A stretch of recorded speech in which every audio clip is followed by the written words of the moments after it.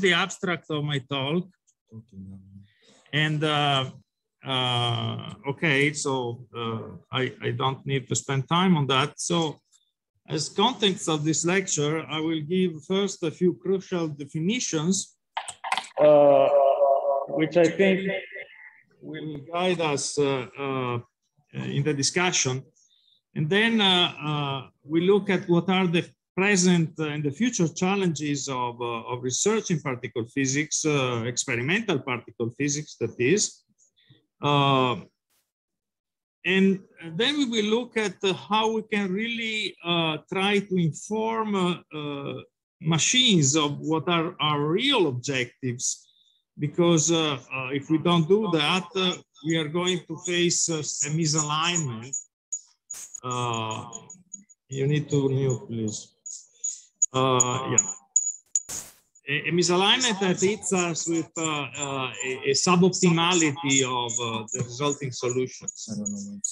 Um, and then uh, the frontier is, uh, in my opinion, the end-to-end -end optimization of experimental design.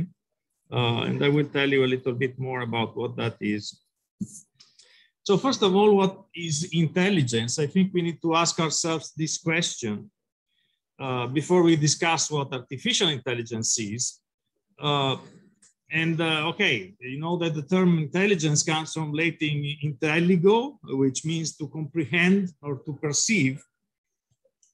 But that, uh, in fact, doesn't help us very much. and it is interesting to note that definitions that that uh, that suit us are not so easy to find. So you could say that uh, you can see here a few attempts.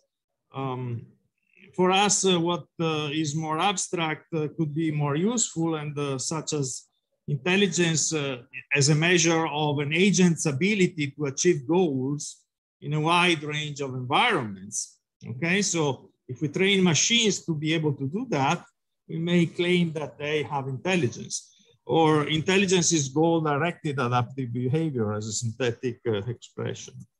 And so then one, what is artificial intelligence? So also that is challenging to get.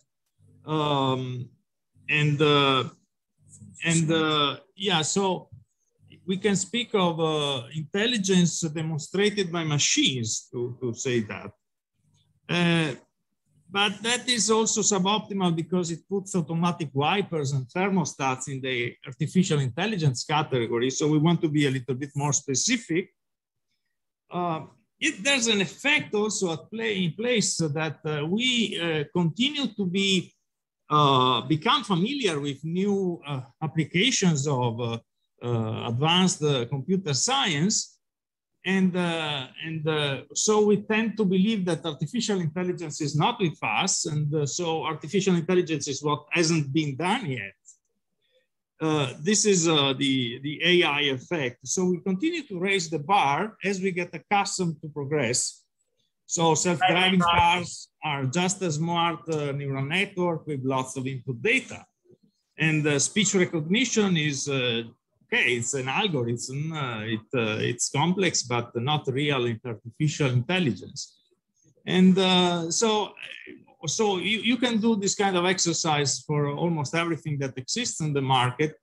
And uh, at the basis of this is a little bit of a reluctance for us to, to talk about artificial intelligence and to and, and, we as sentient beings and we know what we are doing and not the machines but we are machines as well and so uh, we have to go back a little bit. And uh, uh, so one, one thing that we can, uh, that we can start is to, to uh, no, no, it's okay.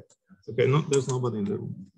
Um, so what is learning really? So this is the relevant question I think that we need to ask. And uh, it's also not idle to answer this. Some definitions of learning are the process of acquiring new or modifying existing knowledge, behavior, skills, values, or preferences, or the acquisition of knowledge or skills through study, experience, or, or being taught, or becoming aware of something by information or from observation. So learning involves us adapting our response to stimuli via continuous inference. And how do we do that? The inference is done by comparing new data to an already processed uh, uh, set of data. And this is done by the use of the mechanism that is called analogy. I think much of this is really uh, that analogy. Uh, analogies are the heart of thinking. There's this wonderful book by Hofstadter and Sander that examine this in really detail and uh, and uh, argue that they are the building block, blocks of our learning process. So this must happen also to machines. We learn new features in an unknown object by analogy to known features in similar known objects. And this is true for language, for, for tools, uh, for complex systems, everything that we interact with, uh, that we have uh, experience of. But uh, even uh, before we start to use analogies, we need to take objects and uh, acknowledge them and classify them in their equivalence class. So in a sense, so only once you have done that, you can start building analogies. So in a sense, classification is even more fundamental in our learning process that is analogy. Or if you want, it's a key ingredient. So classification is in fact at the basis of the scientific method. And uh, there are countless examples uh, that uh, we can make uh, of our breakthroughs in the understanding of, of everything uh, was done. One example for all is Mendeleev's table, where whereby Mendeleev, by classifying uh, elements by weight and valence, they could actually find uh, a, a, place for every element and also missing places, which were later filled by new elements that were found afterwards. And a similar thing has happened with the quark model, if we want to, to make an example closer to our heart. So it is thus no surprise to me that the advancement in supervised learning in particular are bringing huge benefits to fundamental physics research today. So let's come to our, our own field now. Uh, it's, uh, I will focus on high energy physics, uh, although there are commonalities to other fields. In our energy physics, we study the structure of matter by making these powerful collisions uh, at the Large Hadron Collider and in other big uh, facilities. And then we need to reconstruct the reactions from the, the, the, the, the wealth of information that we collect, maybe hundreds of millions of electronic channels. So we have a huge dimensionality reduction uh, task that we need to do and pattern recognition to get uh, to the point of being able to do some inference and extract parameters uh, about the collisions. And uh, we, of course, uh, are in the, in, the, in the business of identifying rare signals because uh, we want all that has been uh, already discovered is uh, interesting, but not uh, so interesting. And so we always look at the bottom of it. so we scan these enormous data sets dominated by backgrounds and search for new signals. And that is what we do by classification. And of course, we want to measure physical quantities, so regression and optimized inference play a role.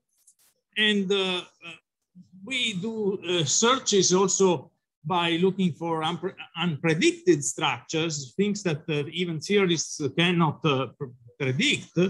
And we want to scan our data and not leave any corner behind uh, un un unsearched. So we have unsupervised learning techniques for that, clustering anomaly detection. Uh, so uh, computer science has uh, given an enormous boost to these uh, activities in the past, I would say 15 years in particular in particle physics. the main directions that we have taken in research in artificial intelligence applications and in particular, uh, these that I list, they, this is just uh, a, a, nitpicking, of course, but I can uh, see that uh, as far as classification goes, for instance, the identification of the flavor of hadronic jets remains one of the focuses because uh, uh, the possibility to identify the flavor of energetic jets opens the way to searches for new phenomena, pretty much, at the LHC at least. And the, also the identification of, of hadronic decays of, uh, of weak bosons and Higgs bosons and top quarks within fat boosted jets is uh, also uh, giving benefits of uh, new physics searches across the board. So these are among the tasks of classification that I would single out as the most interesting and important. But then we have, of course, uh, pattern recognition, which uh, remains very important as we move to very high luminosity conditions of the LHC. And uh, we have to make sense of all the, the, data. So generative models and fast simulation of electromagnetic and hadronic showers in our detectors are, are become compelling uh, because of the time, uh, large amount of computing time that it needs to simulate uh, this wealth of data. And another issue that I think is at the forefront of research for us is the incorporation of nuisance parameters in statistical inference. Uh, taking the two-step process by means of which we first derive a, a, point estimate without accounting for the systematic uncertainties and then accounting for them, this becomes suboptimal when you train a classifier to help you with the point estimate. So all of these applications have in common the fact that they can be tackled with deep learning algorithms. And uh, so I will give uh, uh, just a, a, few very quick examples of what exists here because I want to leave space uh, at the end to discuss uh, what I think is the most interesting thing for the future. Uh, which uh, are ideas connecting with the fact that you want to really bring everything together and do end-to-end -end optimization, not only of, uh, of uh, statistical inference, but on the whole of the design of an experiment. So cooking up good summary statistics is an important task for us. We have 100 million electronic signals and their decoding uh, uh, is, uh, is, is very complex, of course. And uh, the challenge to retain the information, to retain the sufficiency of our, of our summary statistics is, uh, is really hard. Here you see one very important summary statistics, the mass of uh, four leptons uh, reconstructed by the CMS experiment, which produced the, the observation of the Higgs boson in 2012. You have heard yesterday, I think, uh, in a talk by Kyle Cranmer, uh, who is an expert uh, in, uh, in uh, simulation-based inference, uh, the problems that arise when you have such a complexity of all the physical processes that compete and contribute to provide your observed data, that it becomes impossible to use a, a, true likelihood of, of the, of, of the data, even parameters or likelihood of parameters, of course, and then uh, the ways that we have uh, to overcome this. So I will not cover this uh, very much in this talk, but it is uh, certainly a, a, very important issue in our business today. Uh, I will note that the deep learning has arisen in, in, in particle physics after the Higgs boson discovery, and this is not a coincidence, or if it is, maybe uh, there is a link still uh, because in 2012, uh, ImageNet, uh, the, that challenge where computers had to identify ima images um, also was at a turning point. So the technology was mature enough that uh, we also benefited from these tools uh, as we never did before. And nowadays, if we do an analysis uh, in particle physics, we have to use machine learning techniques and before 2012, instead, uh, we were frowned upon if we did. Now, further evidence of the benefit of these tools uh, was given by the Kaggle Higgs challenge, uh, where 100 uh, 1800 uh, teams of participating that were not just physicists, but also statisticians and computer scientists tried to uh, discriminate the Higgs boson decays to tau leptons, which was a complicated, uh, which is a complicated signal to extract from LHC data uh, from backgrounds. And uh, this, this taught a few things. So the most effective solution was, first of all, uh, obtained by a statistician, not by a physicist. and was extracted by a pool of deep neural networks uh, with a lot of emphasis on cross-validation.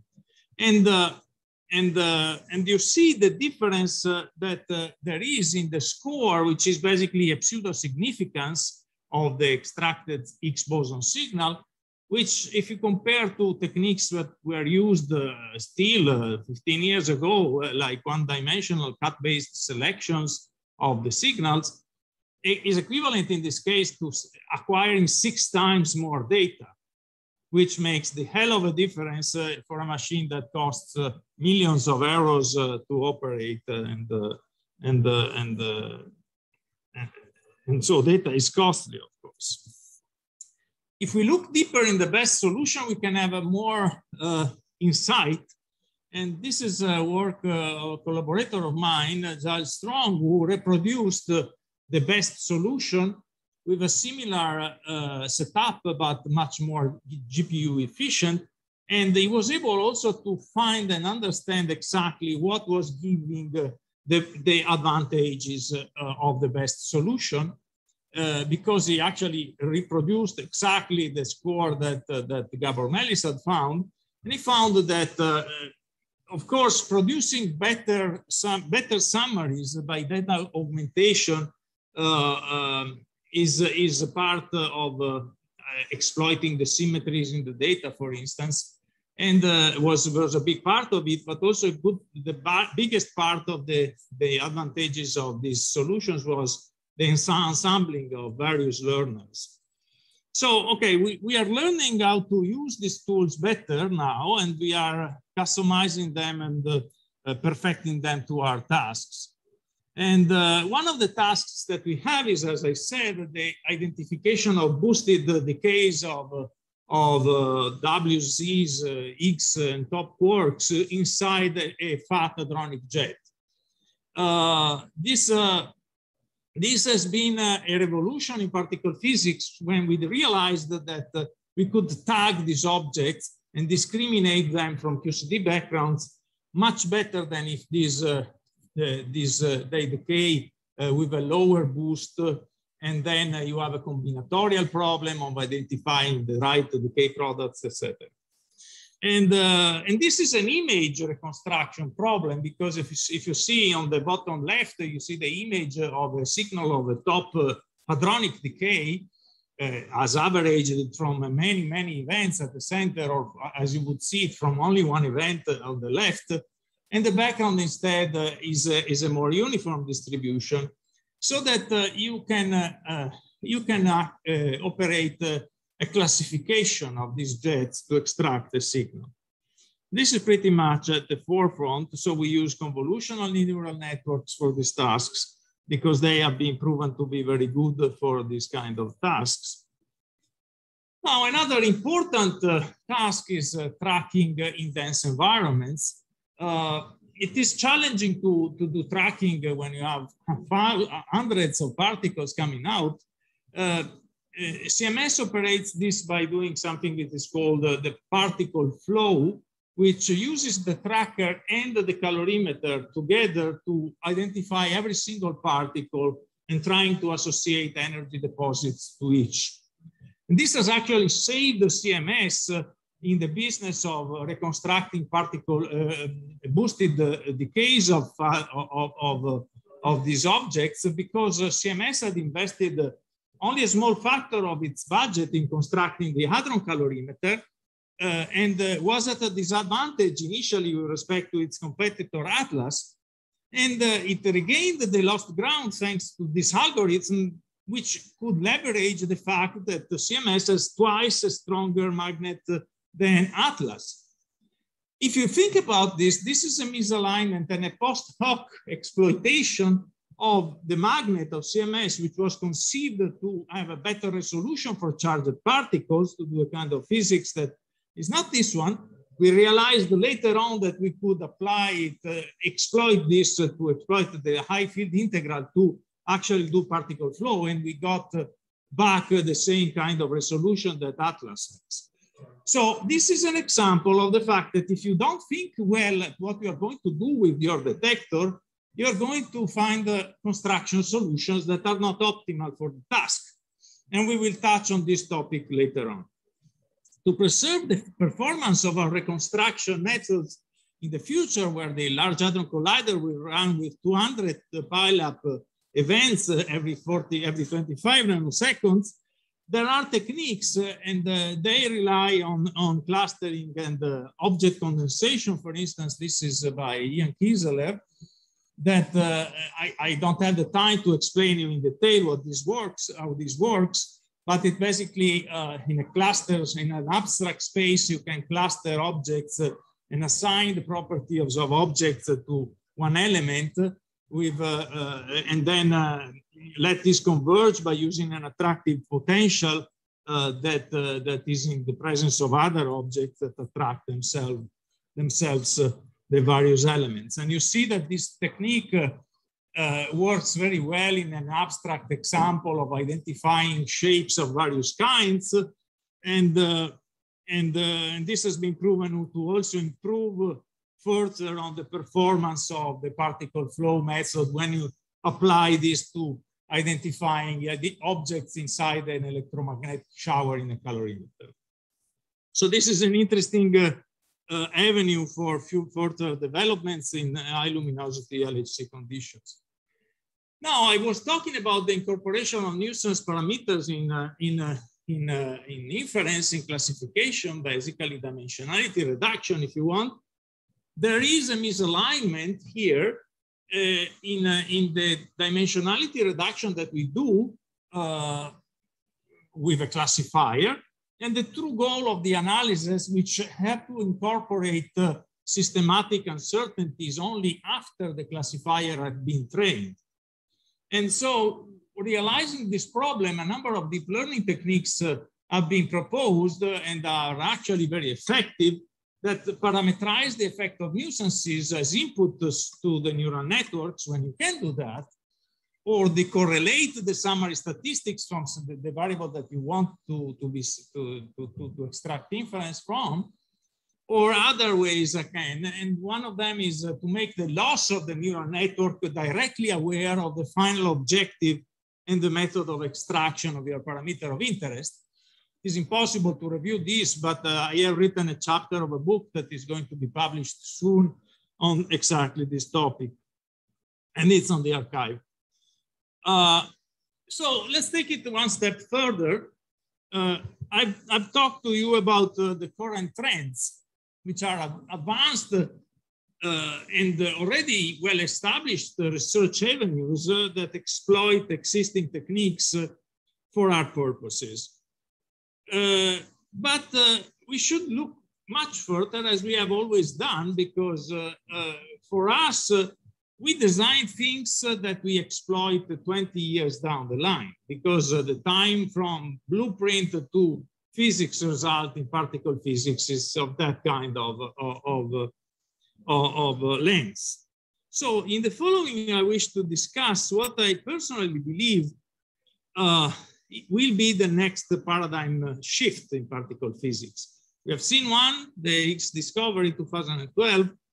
I think we are going to see another one when we start to be able to take seriously the issue of end-to-end -end optimization of, uh, uh, of uh, research in fundamental physics.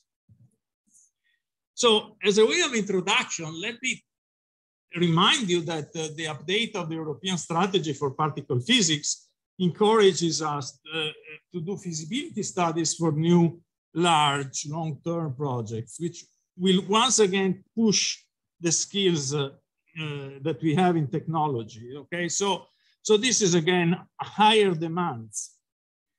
But we are facing uh, unprecedented global challenges in the world. So the funding for fundamental research in physics uh, is probably uh, at, uh, at, uh, at risk. So we have to invest our money as well as we can. That we have, we have uh, actually a, a real reason, an additional real reason to make the best of any resources that are spent in fundamental research. Okay, so with this in mind, I think uh, we need to look beyond the status quo and the way we have been doing business in the past 50 years. Uh, we have been constructing these giant machines uh, uh, uh, using some underlying global paradigms that have guided our hand and have remained mostly unchallenged because they work very well. So one such paradigm is track first, destroy later. We first track charged particle in a very light medium, and only later do we measure the energy of both charged and neutral particles in a, a dense medium, a calorimeter. And this works well, but uh, maybe there is, uh, there is some suboptimality there, which we can, uh, which we can investigate with machines. And of course, we have always strived for redundancy because we are looking for uh, invisible subatomic particles and uh, we need to be very careful and uh, be able to verify that our measurements uh, are consistent and cross-calibrate them, okay? And then we try to build these things uh, with symmetrical layouts because, uh, well, first of all, it's convenient, but also we think that uh, symmetry is a good thing, but if you think about it, the hadronic shower is not symmetric. So there, there is something to improve there possibly. Uh, this, these choices have served us very well, but they do not directly maximize a higher level utility function, such as could be the highest discovery reach for a physical process, okay? So let's, let's tackle this problem what, what, what do we really mean when we say that something is optimal? The reason why detectors are complex is not only that the study physics is complex, but also we are competitive. We want to study everything, but also do it better than what was previously done. So uh, for a detector to, to be optimal, you have to specify in machine learning terms a loss function. But what is the loss function that we want to minimize uh, in, in a complex particle physics experiment? Does it make sense to speak of a single one? Of course, we want to measure the Higgs boson self-couplings, but we also want to discover new physics and we want to measure the physics properties. So really, can we do that? I, so this is a question that has been I have been confronted with, and I'm convinced that it does make sense. And I will try to do the same with you. So we actually are routinely compare, confronted with, uh, with, uh, with uh, complex decisions in a multi-objective uh, space. So if you have to organize the perfect dinner, you want to do it in style, you want to not break the bank, you want to be close to home and uh, all the other things in between. Uh, so, and we do it routinely. We are not deterred by knowing that our target is maybe not universal, that applies to us only. So I think that, uh, and I could make examples of the optimization of the trigger for a large particle physics experiment where uh, there's a, lot of conflicting criteria and you have a certain bandwidth that you want to fit maybe a thousand events uh, among 40 million. And that is complicated, right? So it's a complex optimization, multi-objective, and we do it. So we should be able to, to, to construct a recipe for a perfect detector, and that is a little bit of a spoiler here. And you can do this by model with continuous functions the, the cost of, of uh, put, uh, employing a certain amount of time to construct your detector and spending a certain amount of money and uh, understanding what is your discovery reach for new processes or how well you measure certain important parameters. And once you have that, you can create a differentiable model of the geometry of your detector, the components, the information extraction procedures, and the utility function, which is multi-objective maybe, but you can specify it. And then you will be able to construct a pipeline with those modules which, uh, like a neural network, will enable back propagation and gradient descent to the minimum of the loss and the maximization of your objective. And at the end of it, what, uh, what works is the, the chain rule of differential calculus. Okay? So we will see what we need to do to, to enable such a thing.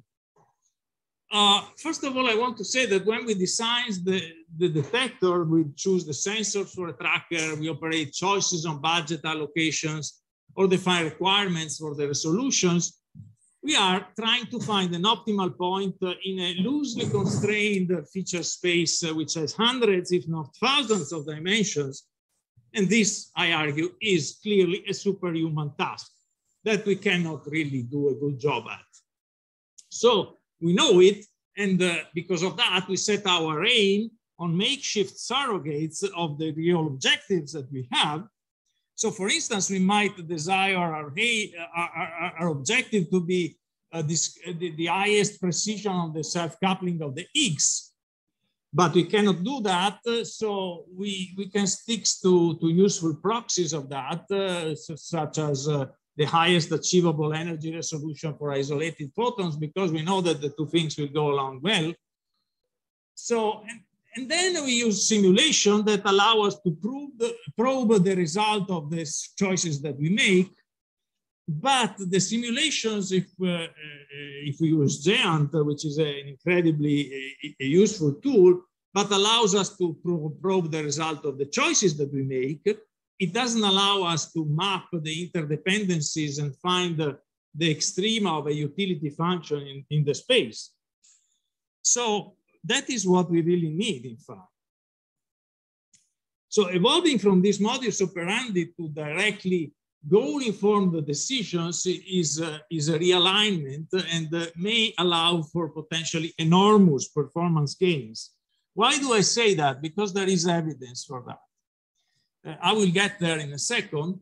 Also, I should mention that the design space has grown larger now that we can 3D print scintillators, for instance, or, or, or do fancy things with, uh, with uh, silicon AC coupled uh, detectors. And of course, the performance demands are raising, and therefore we need to find uh, better solutions. Uh, speaking of calorimeters, uh, high granularity is important for those uh, uh boosted jets tagging uh, and also for for high luminosity has become compelling. In fact, the HGCAL calorimeter for CMS has been built with that in mind. And there's a number of developments in this area, but an end-to-end -end optimization of the design of these instruments has not been attempted yet, okay? Uh, and uh, there are, there are even examples of the fact that these things get built, built without the, the, the, their exploitation in, in, mind. If you know that uh, you are going to use a, machine learning technique for uh, making sense of the data, you should make uh, the output of this machine, of these detectors more machine learning friendly.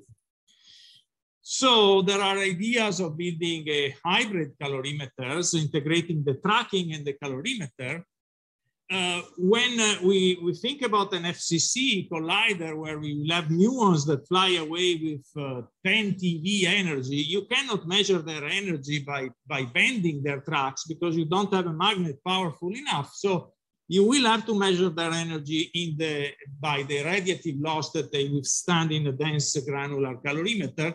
So we have studied that. I will show you that in a second. And uh, maybe nuclear interactions in the future will be used to do particle ID. So these are ideas that a machine could investigate. Let's talk about the muon energy measurement. In very, very high boosted regime, the muon starts losing uh, significant amounts of energy by radiative uh, uh processes. And uh, you know that in a typical uh, superconducting magnet, a 1 TeV muon is deflected by one millimeter and uh, if you have a 10 TeV muon, you start uh, losing resolution, okay? So uh, we studied this with a convolutional neural network in a regression task. And we took a, a, a, a a highly granular calorimeter, and uh, we studied the, the, resolution that we could, could obtain with a, with a neural network on the energy by making sense of the pattern of these radiation deposits and we found that we can recover 20% resolution at 4 TeV of, of muon energy by combining uh, the, or uh, at that point, the, the, the, the, the, curvature of the muon is no, no longer useful. It's uh, that orange line in the graph on the lower, uh, uh, lower right, where you see that uh, the calorimetric measurement wins over the tracking measurement very much. Uh, so how large are the gains of a full optimization of your devices? Um, so experimental design uh, uh, as is carried out to, today leaves ample room for improvement. And uh, even seemingly irrelevant choices for the placement of active and passive material in a simple detector can do the trick. Uh, I, did, I, had a chance to study this uh, because I was referring uh, a, a, detector proposed by the MUonE collaboration, which wants to determine with high precision the cross-section of elastic electron muon scattering, because that is uh, a leading source of systematic uncertainty to the G minus two measurement uh, of, of the muon anomaly, uh, which is uh, showing a 4.2 sigma discrepancy with the standard model as of now. So in the study that I made, I demonstrated that uh, you could obtain a factor of two improvement in the, in, the, in the utility function by just moving away by the choices that are dictated by past experience. So this is the layout of one module of the muon experiment, you have a muon coming in, hitting a beryllium target, and then getting tracked along with the electron in a few silicon modules. And this is repeated 40 times in the arrangement that is proposed by MUonE. And uh, okay, and the, the, experiment aims at measuring this uh, hadronic loop contribution to the to the uh, to the anomalous uh, magnetic moment of the muon, okay, which is one of the leading sources of theoretical uncertainty which leads to this uh, discrepancy of the standard model and the experimental measurement.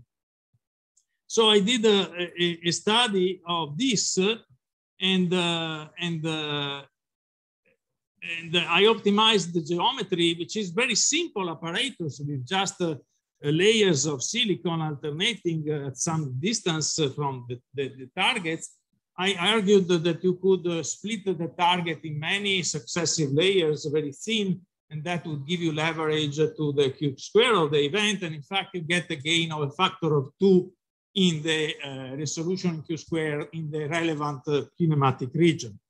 So if you can get a factor of two improvement in a figure of merit for a detector made of layers uh, uh, such as that with three particles, imagine what you can do with a more complex uh, uh, physics, right?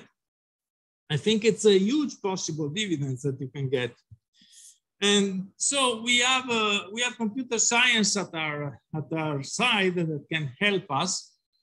But uh, artificial intelligence is everywhere, but it's application specific, as we know uh, its application depends on the developing the right interfaces. And so far, uh, it has been applied only to things that are uh, profitable. And so we are bound to develop our own applications. Now, there is a, a, new paradigm shift that is impending on us uh, because differentiable programming, which is the new nickname of deep learning, if you want, it has become a thing. Now, there are tools on the market like uh, TensorFlow, PyTorch, uh, JAX that allow us to do this and uh, eases the systematic search of minima of arbitrarily complex uh, multidimensional function. Okay, so you all you need to do is to create differentiable models of your system. But it is difficult because we are confronted with the stochastic nature of the quantum processes at the basis of the interaction of radiation with matter. So this has held us back for a little while. Nonetheless, automatic differentiation is, uh, is, uh, is a very neat way to uh, have uh, being able to specify a function, a piece of code, and then the libraries allow uh, directly to have access in an exact form to the differential of this function. Okay, so this, this actually can be the key to uh, implement our solutions. Uh, one way to apply this is uh, in, uh, as I said before, applying uh, inference-aware analysis methods that uh, teach the neural network uh, exactly what we want to do with the classification that it's performing so that it becomes aware of systematics effects and can realign its output to these. And you do this with differentiable programming we, we constructed a, a, a, a, pipeline whereby the neural network is informed of uh, the Hessian, uh, the information matrix, if you want, of the final measurement that you do when you take the summary of the neural network and you use it for inference. And this provides large gains in the ultimate uh, precision of the inference. So we, we have uh, we are in the process now of proving this on a real CMS analysis. The, this, uh, the article that I'm citing here is only based on synthetic examples so far. But okay, uh, there's people that have uh, used the differentiable programming uh, to optimize the magnets of an experiment that uh, looks for dark matter. And here the muon flux, uh, you want to reduce it. And you see that, that the machine learns the best configuration of the magnets that reduces by a factor of two again the flux of muons in your detector. And so again, this is a simple setup, only a few variables are considered, but uh, we have to start with simple, uh, simple applications and go towards uh, more complex ones. And this is the task of a group I've formed uh, of physicists from a few nodes uh, that you see here. Uh, there's Kyle Cranmer, but there's also many other computer scientists and physicists that are actually uh, want to uh, apply differentiable programming for these problems that we have. The end-to-end -end optimization of experimental design. You can do it if you pull it off uh, in a scheme like this one, where on the left you have uh, uh, what you would say is GEANT. You have uh, something that samples the latent space of the parameters and simulates collisions or whatever you have at the basis of your inference. And then uh, you can actually create a model of that uh, with a differentiable simulator surrogate. You can validate it and, uh, and then use it in a pipeline which uh, includes uh, the parameters that determine the geometry of your detector, the systematic uncertainties, uh, the pattern recognition that you're going to apply to extract your inference and your analysis model, the cost of the detector, and if you pull it off, you are able to optimize the full chain. Of course, this is complicated. We want to study first with use cases that are easy. So uh, we have taken on a few uh, easy use cases to start with. One of them is uh, uh, muon tomography, which includes just cosmic ray muons as the basis of your inference. So it's uh, the part of the creating the surrogate of the of the simulator is is easy there right? And this is a simplified version. So uh, muon tomography is everywhere. Applications are countless to study the core of volcanoes or or archaeological prospections and uh, nuclear waste uh, and whatever and, uh, and you can uh, study unknown volumes by passing muon through them. Now we have created a differentiable pipeline and uh, we have modeled a, a, generic system that we can then uh, customize to any other task. And uh, we have shown that you can teach uh, a, a, a, pipeline how to minimize the loss function to do the inference, but also optimize the inference by modifying the detector. Of course, this is work in progress and there's still a long way to go, but it's an important milestone for, um, for us to prove that this kind of technology is uh, ready uh, and we can start to exploit it. We have uh, uh run a workshop on differentiable programming where we put together both physicists and computer scientists. Uh, we had, uh, we had several interesting talks. they are recorded and available if you are interested. This was possible uh, by the, the generous funding of IRIS-HEP uh, and uh, the APPEC, NuPECC, ECFA consortium that are supporting us.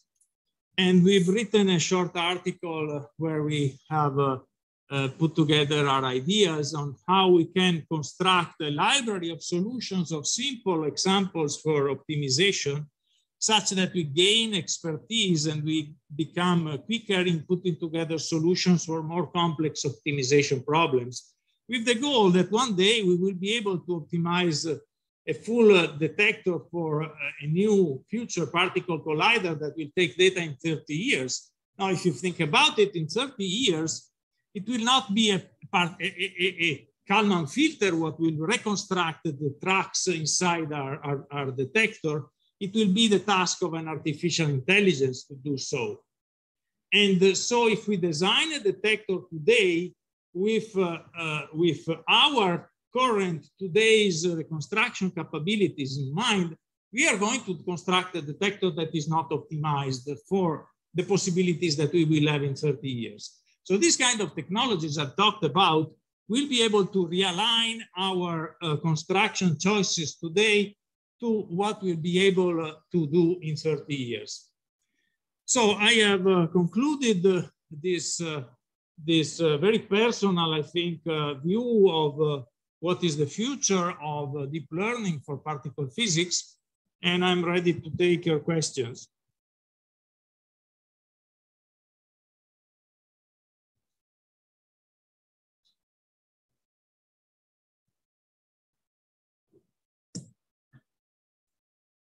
Are you still there?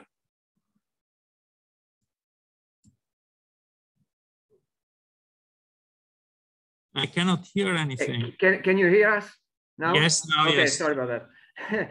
Okay, thank you, Tommaso. And uh, there are uh, time for uh, at least a couple of questions uh, if someone have.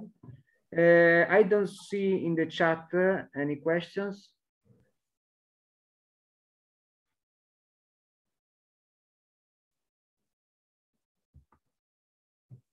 Okay, there is a, a hand raised. Uh, Feng, please go ahead. Uh, hi, well, thanks for the talk. So I have uh, this question like uh, this end-to-end -end optimization. So like, do you have some numbers like uh, how, how many parameters are you shooting for? Uh, like for a typical sized problem? Yeah, so uh, this is uh, uh, strongly dependent on the kind of problem you want to tackle and uh, how you parameterize it, of course. So if we look at past applications such as this one I've shown of uh, the optimization of the magnets uh, for the beamline of the SHiP experiment, you see that the number of parameters that they, con that they consider is uh, of the order of uh, 20, something like that. Uh, so the number of parameters is certainly a concern for uh, CPU consumption. But uh, to us, uh, it's uh, more important to realize the feasibility of the whole, the whole idea because because uh, yes, uh, I mean uh, CPU consumption is is always a problem that will solve by itself a little bit as we move to more and more powerful machines. Of course, I think nowadays I would say that the number of parameters that you can consider for, for a very complex uh, detector, well, for the, for the applications that we have, we are shooting for uh, tens of parameters, not, uh, not, uh, not thousands, okay? No. But, uh, but okay, it's, uh, I think, a long process of going from simple use cases to harder ones. Yeah, thank you. Yes. Yep.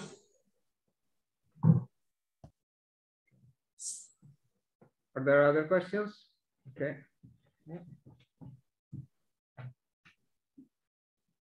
Hello, Tommaso. Many thanks for your talk. It's uh, Biagio Lucini here from uh, Trento. Um, I want to ask you, um, I mean, how much of your problem is a design problem of um, the um, differential element, uh, and how much of it is a, a, computational problem. I mean, I imagine that, uh, I mean, with, with the scheme that I can see now at the moment, it, it all looks uh, rather involved. So imagine that there is uh, a heavy computational element there for the optimization, possibly also if the number of parameters is small. So could you please comment on that? So if I understand your question is, uh, is uh, uh, what is the hard part in this scheme? Is it uh, is it uh, computational or is it uh, modeling? Yes, exactly. Yeah, so I think that uh, for now, for the problems that we are considering, the problem is more of a conceptual nature in terms of uh, modeling uh, as accurately as possible the important ingredients because, uh, you know, as I mentioned, the stochastic uh, processes at the basis of the creation of our data uh, are, are a little bit uh, um, hard to, to be cre to create a differentiable model of. If you can do it with variational autoencoders or uh, adversarial network setups, but uh, this is a, a, huge job on which uh, lots of uh, brilliant minds are, uh, are banging their heads on as far as, uh, for instance, the modeling of hadronic showers in a calorimeter are concerned. This is a huge task. But if you start with simpler problems such as muon tomography, that is not such a huge concern. Indeed, the computational complexity is something that you have to tackle and, uh, and, uh, and confront with. Uh, and uh, But you, you, will notice that uh, a system such as this one has uh, many uh, blocks uh, that can, uh, in, in some cases, be optimized independently by freezing some parts of the parameter spaces and releasing others. so the, the, the big complexity of such a setup can be broken down into smaller problems at times. So for now, we are more concerned with the feasibility of, uh, of continuous modeling, which is really the key to be able to explore in a, in a continuous way the space of the parameter, uh, the parametric space of solutions. But of course, complexity uh, of uh, computation uh, is, is still a concern.